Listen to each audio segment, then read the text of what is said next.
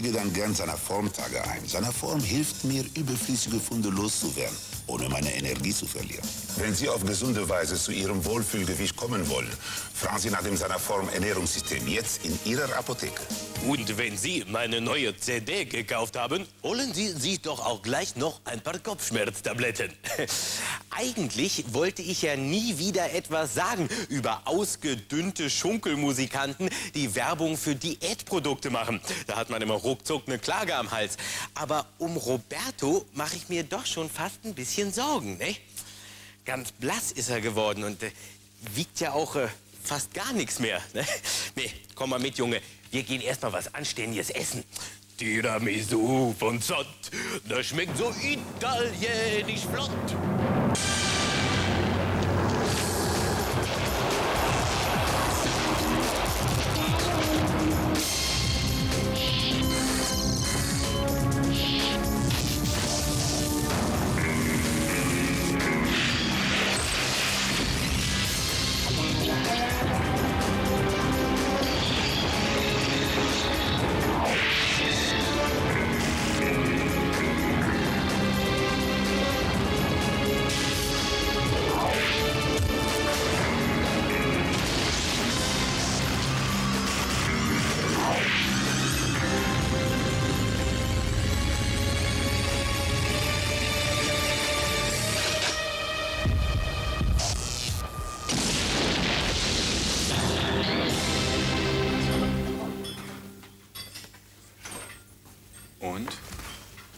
Merk's. Das ist ja toll.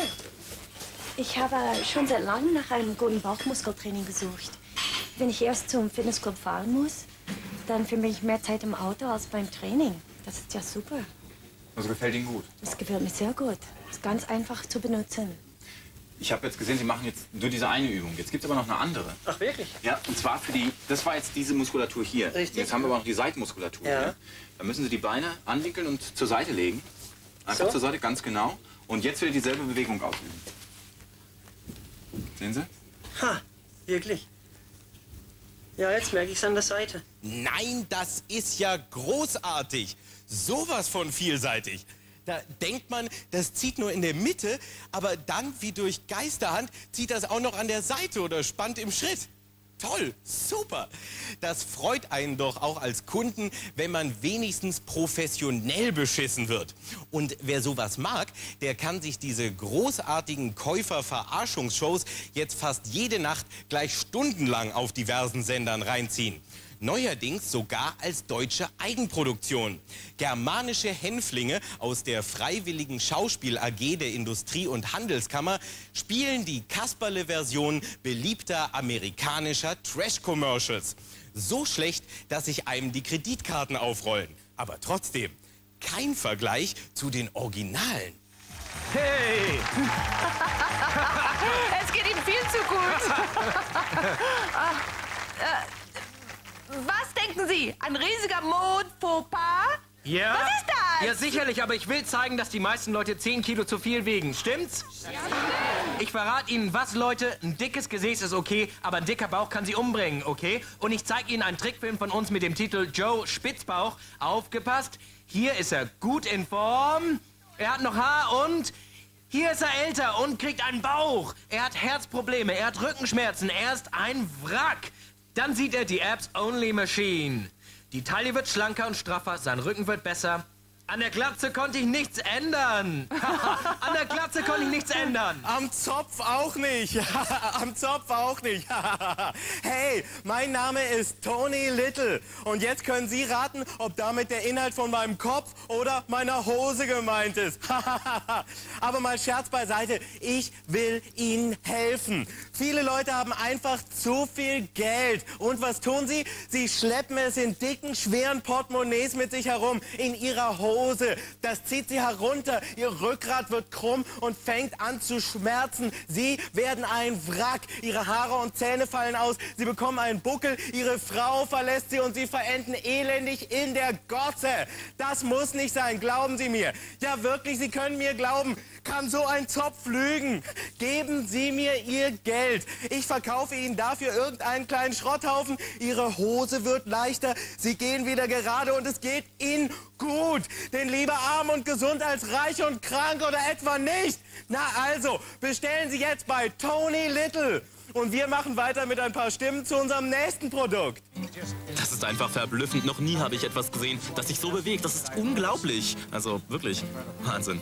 Ich bin einfach sprachlos. Was soll ich sagen? Sie hat mich absolut begeistert und mir wurde klar, was mir in all den Jahren gefehlt hat. Es ist absolut phänomenal. Ich habe noch nie so etwas Gutes gesehen. Wirklich, glauben Sie mir. Echt toll. Es ist Wahnsinn. Klasse. Sie werden das vermutlich verbieten. Sie werden es verbieten müssen. So viele Fische hat der Köder aus dem Becken geholt. Der ist so gut, dass er verboten gehört. Es ist wirklich toll. Der reine Wahnsinn. Ich bin auch ganz aufgeregt, weil sowas habe ich noch nie gesehen. Eigentlich wollte ich sowas auch noch nie sehen. Aber jetzt, wo ich dafür Geld kriege, dass ich hier sage, wie toll ich das finde, finde ich es einfach toll. Wahnsinn. Wirklich. Ich habe mit dieser Arschritze, L-Ritze, jedenfalls mit diesem Plastikfisch, mehr gefangen getan als wie je zuvor. Obwohl ich noch nie geangelt habe. Sie hören es ja selbst. Ich bin wirklich sprachlos. Toll. Wirklich. Wahnsinn. In echt jetzt. Wirklich. Ich glaube, ich koche mir den jetzt in der Mikrowelle. Einen Moment, Joe. Jedermann weiß, dass man kein echtes Essen kochen kann in der Mikrowelle. Au contraire, Madame Maddie. Das ist jetzt vorbei, Maddie. Sieht das nicht wie echtes Essen aus? Zart, saftig geröstetes Huhn in 18 Minuten. Nicht anderthalb Stunden. Ein doppelter Schokoladenkuchen. Ganz perfekt in 12 Minuten. Nicht 45. Dank Microwise. John, was ist Microwise? Microwise ist die neue Art zu kochen. Vergessen Sie all die Märchen über die Mikrowelle. Pete, her mit der Kanone. John, was machen Sie da? Ich zerstöre all die Märchen über die Mikrowelle.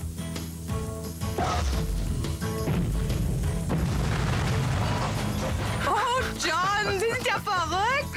Au contraire, Madame Eddy. Ich bin vollkommen normal. Ich habe nur mein Gehirn in der Mikrowelle gebraten. Und es war durch in nur zwölf Minuten, Maddie. ich bin Bazooka Joe.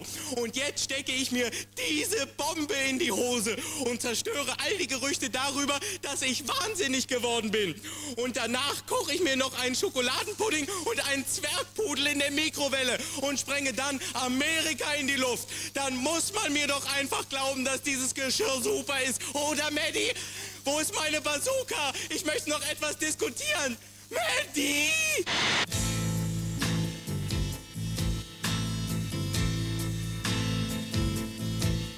Meiner Band spielst du die erste Geige. In meinem Film bist du der Regisseur. In meinem Garten bist du der Gärtner. Und im Urlaub der Strand am Meer. Im Kölner Dom bist du die dicke Glocke. Und im Karneval der Schelm. Und wenn ich nachts vorm Fernseher hocke, bist du der Held in meinem Lieblingsfilm. Ganz egal, was du machst, ob du weinst oder lachst. Oder dir in die Hosen machst. Du hast sicher schon gemerkt, dass ich nicht singen kann. Doch seien wir ehrlich, wen kümmert das schon? Wenn Heintje Lauterbach, der sympathische Mega-Macho mit dem Dreitagehirn und der sexversprühenden Halbglatze, mit rauer Zärtlichkeit an seinen whisky-gewichsten Stimmbändern zupft und dabei versonnen den Mikrofonständer begattet, dann schaut sicherlich so manche Frau daheim zu ihrem Mann herüber und denkt, was doch für ein uninteressantes Arschloch. Aber, meine Damen, bedenken Sie bitte eins. Heini Lausebach nimmt ja auch Männlichkeitspillen und wirbt sogar dafür in der Zeitung. Denn dank äh, Schwanzus Longus oder wie das Zeug heißt, ist er, Zitat, rund um die Uhr leistungsfähig. Man braucht vor allem Energie. Man muss dieses berühmte Feuer in sich haben und sprühen. So unterscheidet man sich von den Langeweilern und hat die Nase vorn. Hey, Cool, Lauti, ehrlich. Hört sich super an. Aber bitte versteh mich trotzdem. Wenn die Nebenwirkungen solche missglückten Westernhagen-Parodien sind, dann versuche ich es lieber weiter ohne Pillen, okay?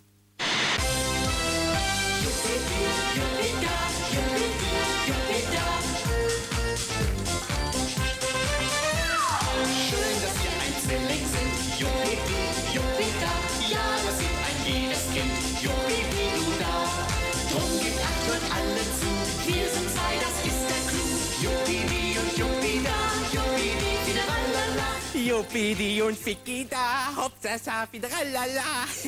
Wissen Sie was? Es hört sich unglaublich an. Aber ich denke wirklich, unsere Eltern haben versucht, uns als Kinder irgendwie loszuwerden. Die haben uns zum Beispiel an der Wasserrutsche im Heidepark Soltau angekettet und sind dann nach Hause gefahren und ganz schnell umgezogen. Oder sie haben uns immer zum Federballspielen auf den Autobahnzubringer geschickt und im Fernsehen nur Filme über Lemminge gucken lassen und sowas. Aber verstehe ich gar nicht warum.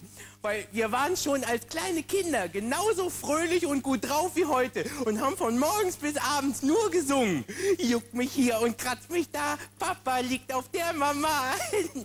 naja, jetzt haben unsere Eltern erstmal einen Antrag eingereicht, ob sie ihr Sorgerecht über uns ablehnen und auswandern können. Also, äh, falls Sie Lust hätten, uns zu adoptieren, dann rufen Sie ruhig an. Wir würden dann auch immer für Sie singen.